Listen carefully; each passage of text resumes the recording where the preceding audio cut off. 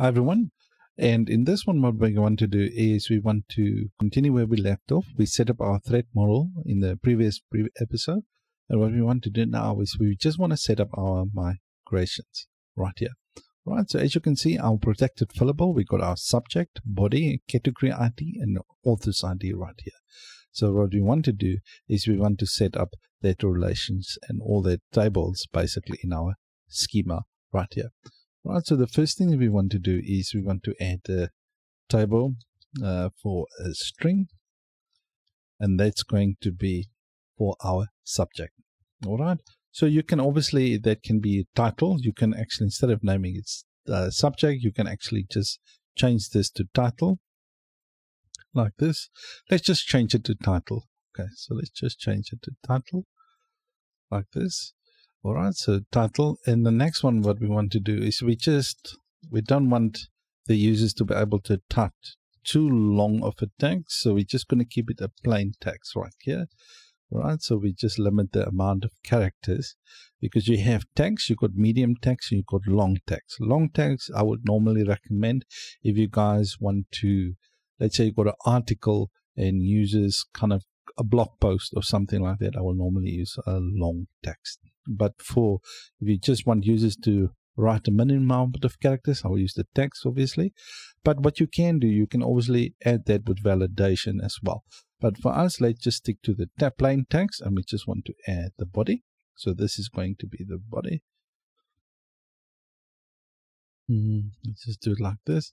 And the next part we want to do is we want to add a slug as well. So let's just table and this is going to be a string. This is going to be a slug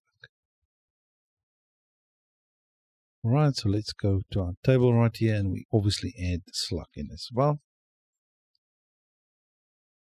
So now we need to add our two foreign keys. Remember the one is that belongs to relationships. The one is for the category id because this is a belongs to so it's expecting a user ID like this, a category ID, sorry. It will suffix the basically the category with an ID. All right, so it's expecting a category ID, and the other one is the author ID. All right, so let's just create those two. All right, so the first one is the foreign. I'm just separating, just giving us some space right there. Um, this needs to be a table. Come on, foreign ID. So, all right, so this is basically going to be the author ID. Let's just put the author ID first, and we just want to constraint that to the users table. Okay, so we always want to have, there must be an author. So I don't want it to be nullable. Okay, the next part is the table is the category ID. So that is also going to be, so foreign ID and this is going also must be filled in so it cannot be null. Otherwise we don't know what to do with that author with that person's and this must be constrained to categories. Okay. Right so otherwise we won't know where to put that person's thread okay? So I just don't want to copy it. I just want to move it just above the timestamps. All right? So we got those two fields right there. Okay? So we got our author id and our category ID. All right, so that's all that we want to do right there. All right, so what we want to do now is we just want to migrate the database and just reseed it. Okay. Okay, so let me just check how the, everything is set up because the category ID needs to be above the threads ID. Otherwise, we're going to get in foreign key incorrectly formed. Let's see, our threads is here. As you can see, our categories are on top, so we won't get that error, and obviously our users is on top as well. All right, so let's do PHP artisan migrate fresh and dash dash seed. I just want to do that as well. All right, and I'm not going to create the thread seeder in this one. We just want to, yeah. Okay, then we just press enter Okay, so then it runs the database and it set it completely. Right, so that's done. Right, so we're obviously going to create a thread seeder, but for now, we're not going to. All right, Thank you guys. Uh, let's see if everything is migrated. The database right there. As we go to the forum, as you can see, we got our threads table right here, and you can see title, body, slug, author ID, category ID. So we got those two right there, created it and updated it. All right. So what I want to do in order to create uh, threads seeder, we need actually users because we want to associate a user with the author ID and the category ID. You know what? We still have time. Let's create a thread seeder. All right, so what I want to do is I want to go to our user seeder right here and I want to increase that to 10. All right, so let's quickly create a um, threads table seeder. So PHP artisan make seed and we just want to create a threads table seeder. Okay, so let, let's created. So if we go to the threads table seeder right here, what I want to do, I want to actually create a couple of uh, threads. All right, so let's go to seeders. All right, so now the first thing that I want to do is I want to actually create a factory as well. So let's see.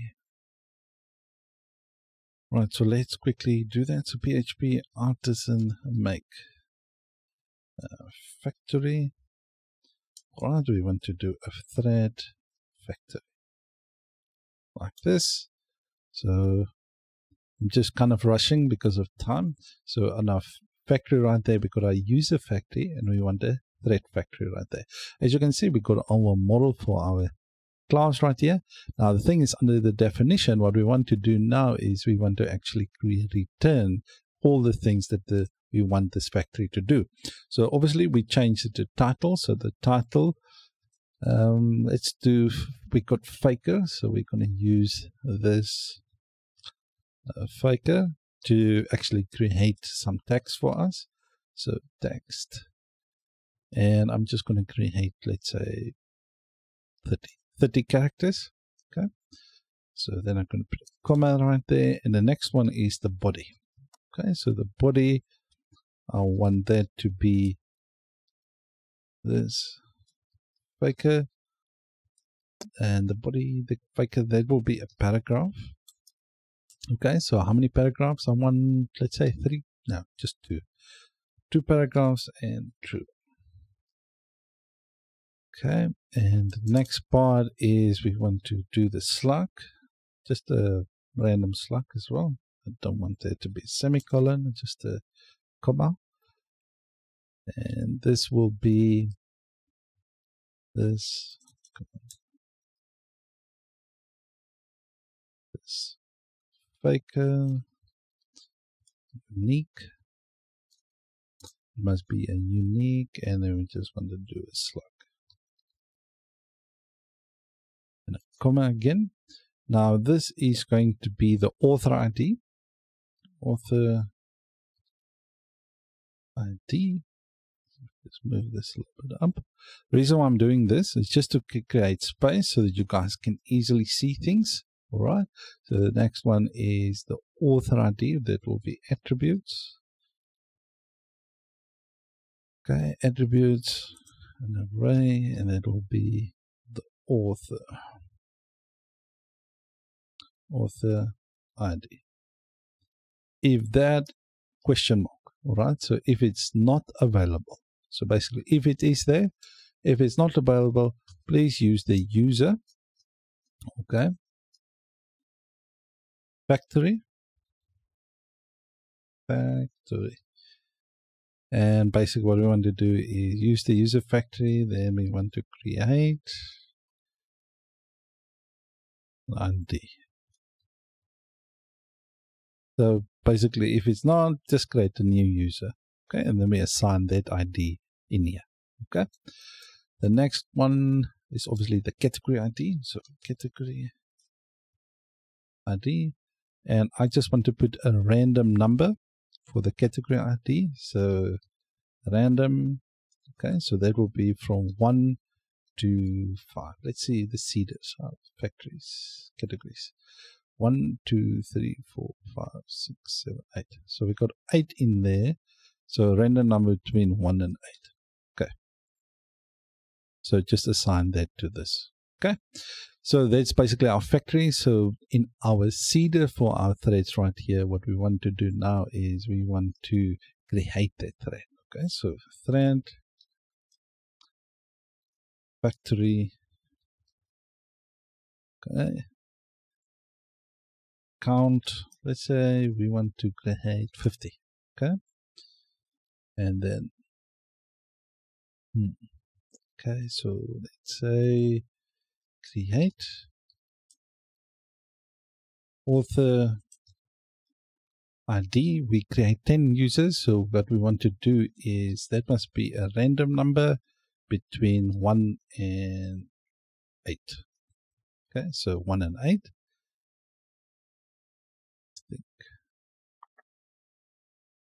let's just create an array like this and just do that. Right, so a thread is in there. I just want to make sure that everything's imported. I don't want to get any errors. Okay just make sure the user is imported at the top. And go to our database seeder right here and obviously call that threads table seeder. Threads table seeder. Okay. Let's do the migrations again and hopefully everything works it's probably going to get an error. Yes. Seeder class not found in our which one? Oh yes. Okay, let's go there. Which one? This one right here. We just need to make sure that we import it at the top. Otherwise, provide the full namespace right there. Okay, let's see that again.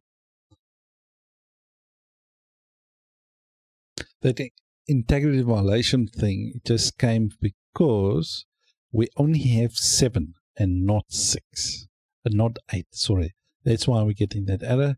So if we go to our threads table, let's go to our factory. No, not that. Let's go to our thread factory. Let's go to categories right here. All right, so what we have, it's one, two, three, four, five, six, seven. So we only got 7. That's why we're getting that error. So random number 1 to 7. So if we do that again, PHP artisan uh, migrate fresh test seed. Okay, so if we do that, everything goes well. All right, so let's go and see the database, what it looks like. So if we refresh right here, you will see we seeded the database. As you can see, it assigned random categories and it's assigned a author ID. Why did it only assign that? Okay. You know what I'm going to do? I, I don't have the time to actually try and figure it out. So let's just go to our threads factory right here and just assign a random Copy this. And I'm just going to do this. Rand from 3 and 9. Okay, just like that.